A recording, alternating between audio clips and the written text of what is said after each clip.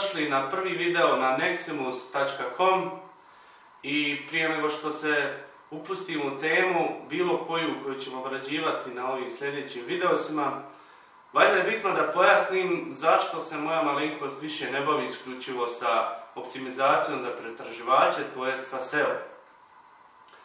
U 2012. godini imali smo slučaj da je oko 200 on-page faktora bilo bitno za on-page optimizaciju.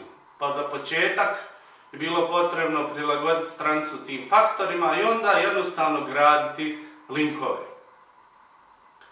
Početkom 2013. taj broj faktora se povećao skoro na 300 zbog socijalnih medija i ostalih stvari, a bilo je otežano graditi linkove. Da bi u drugoj polovici 2013. se uspostavilo da zapravo ne vrijedi od tih 200 faktora niti jedan više nego njih, samo 10, to jeste da im vrijedi posvetiti pažnju, da je sve teže doći do linka, da se sve i teže i na bolji način mjere i da je izuzetno bitno dobiti linkove iz socijalnih medija i biti popularan na njima. Uz to dolazi saznanje da se putem teksta, gdje smo objašnjavali sa VDF i IDF optimizacijom, može mnogo postići. Stoga s manje linkova se može napraviti bolji ranking ukoliko je sadržaj bolji. Prije je se govorilo da je kvalitetan sadržaj onda ako unutar tog teksta imaju dvije ili tri autorske slike i to bi bilo sasvim dovoljno pa smo radili infografike i razne stvari e, interesantne za korisnike, međutim Google to više ne vidi tako. Sada traži autorski video. Dolazimo do sljedećeg koraka. Ako se želi napraviti video, onda će se praviti za nešto kvalitetno. Što znači, u ovoj godini to izgleda ovako, da se pravi puno manje sadržaja, visoke kvalitete koji sadrži video. Evo, to je upravo ono i što moja malenkost radi. Ali, dragi moji prijatelji, nije to sve. SEO, niti se to više može zvati SEO. Dakle, kada napravite taj sadržaj, osmislite ga, snimite, tu imamo content marketing koji dobrim dijelom ima video marketing.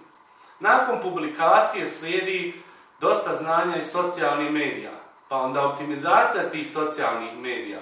Pa ukoliko to ne krene na način koji smo želili, onda idemo u advertising, idemo u oglašavanje. I tek onda vidimo koliko smo SEA postigli, pa možemo dodatno pogurati. To nije, dakle, više ne može se zvati SEO, to se može samo zvati internet marketing. SEO više kao sama disciplina, sama po sebi, da se uradi on page pa off page i da se očekuje neko, neki veći rezultati je skoro pa nemoguće. Potrebno je mnogo više toga. Tako svojim klijentima ne mogu nuditi više SEO, nego moram biti sve u jednom. A to ne mogu. Ne mogu ja stići da radim i kampanje za oglašavanje i SEO i content marketing i snimat video se i brinut se o newsletteru i rad community management i tako dalje. Dakle, SEO je izašao van svojih granica koji je godinama bio.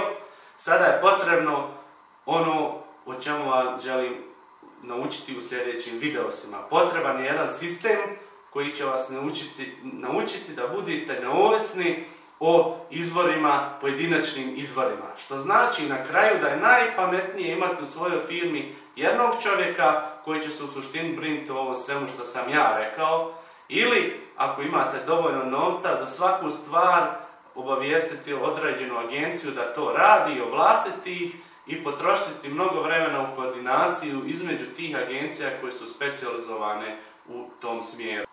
To bi bilo to, a danas objavljujem odmah taj video koji će ukratko pojasniti šta je sistem neovisnosti i radit ćemo na tome da naučimo šta je sistem neovisnosti i da ga postignemo. Pa vidimo se u sljedećem videu.